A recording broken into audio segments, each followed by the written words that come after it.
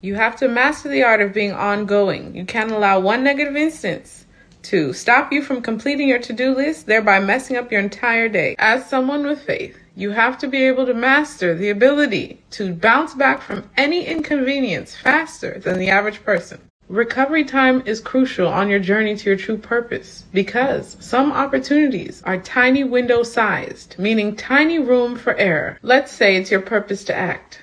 And en route to an audition, you notice you have a flat tire. You get out, you fix the tire. Now your mood is distraught. Are you going to take that bad energy into the audition or are you going to recover fast? Are you going to peep game of the matrix attempting to derail you and slow you down or are you going to go knock out that audition?